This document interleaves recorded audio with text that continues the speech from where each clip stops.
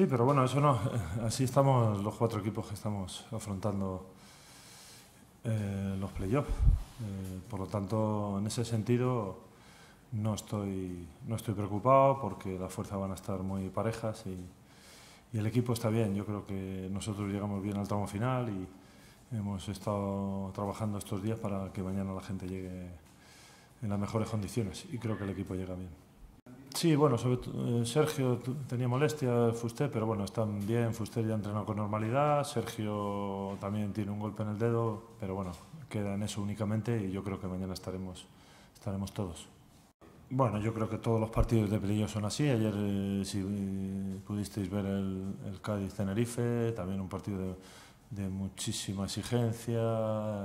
hay mucho en juego y, y los partidos de playoff son así, por lo tanto va a ser un partido también eh, difícil, complicado y, y, hay que trabajar mucho si queremos pasar a la siguiente, pasar a la final. Bueno, hay cosas que, que hicimos muy bien, otras menos bien y hemos estado incidiendo lógicamente en, en eso, ¿no? En, en, que hay que saber manejar los tiempos del partido en todo momento y,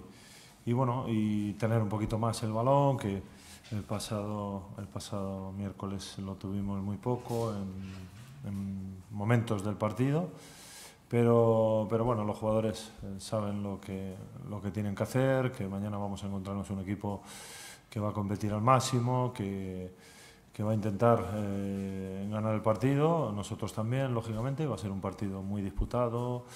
pero bueno, nosotros eh, con la ayuda de nuestra afición, que no tengo ninguna duda que va a venir en masa y que va a estar alentando y animando al equipo, porque todos estamos tremendamente ilusionados pero somos conscientes de que no va a ser un partido fácil. Sí, indudablemente van a intentar buscar el, el gol, nosotros también, nosotros eh, eh, tenemos que olvidarnos, entre comillas, del resultado del miércoles y salir como lo hacemos habitualmente a ganar el partido, no, no hay otra. Sí, sí, como se dice, la afición tiene que ser el, el jugador número 12 y, y bueno sí que estoy convencido de que van a estar animando y alentando al equipo incluso antes, del, antes de que comience el mismo. Es fundamental que, que la afición venga lo antes posible, que esté incluso en el calentamiento con el equipo, que esté ya animando, que se vea eh, esa vibración, que se vea que el jugador se sienta arropado desde el calentamiento.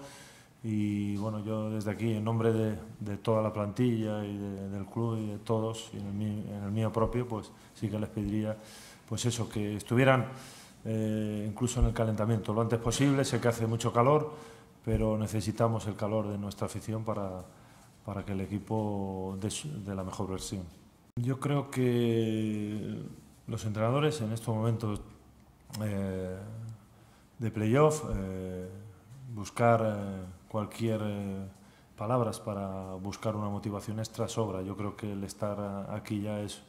una motivación más que suficiente, eh, es un premio, es, eh, es la posibilidad de, de, hacer algo importante y, y por lo tanto el equipo está tremendamente motivado, está animado, está con ganas, está con ilusión, está con confianza y, y bueno, con cautela y con respeto siempre a un rival como el Huesca porque ya lo pudimos comprobar el pasado miércoles que no, no va a bajar los brazos en ningún momento. Yo tengo experiencia en playoff y aquí nadie baja los, los brazos hasta el piteo final. Bueno, eh, puede haber, pero no voy a dar, como bien dices, pistas. Lo veréis, lo veréis mañana. No lo sé, no lo sé, no lo sé. Ellos tienen su propio estilo, lógicamente, bueno, les ha ido bien a lo largo de la temporada, cómo han afrontado y cómo y cómo han competido y, yo lo que estoy seguro es que va a ser un equipo que va a competir al máximo, que nos va a exigir, que somos conscientes de que lo tenemos que dar absolutamente todo,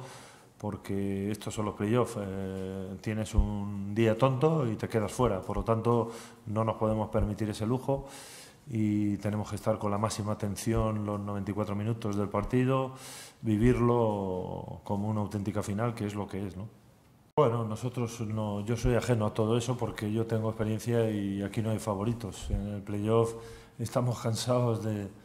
de ver eh, resultados sorprendentes, de equipos que se han quedado fuera, equipos que se metieron en el último momento y fueron capaces de ascender, eh, sin ir más lejos la pasada temporada, Osasuna. Por lo tanto, aquí no hay favoritos y el que, bueno, siempre cuando hay eliminatorias y cuando hay este tipo de competiciones, pues lógicamente eh, algunos quieren poner la etiqueta de favoritos a, otros y quitarse la etiqueta de, de equipo no favorito. Pero nosotros somos conscientes y sabemos todos eh, que no somos favoritos de nada, que aquí los partidos hay que jugarlos, que lo hemos podido comprobar en la liga regular, la igualdad que, hay en la competición, da igual de dónde vengas, da igual los años que hayas estado en, primera división, da igual absolutamente todo. Eh, ayer vimos también un partido entre el Cádiz y Tenerife con la igualdad predominante que, que ha habido a lo largo del, campeonato y en un playoff ocurre yendo lo mismo.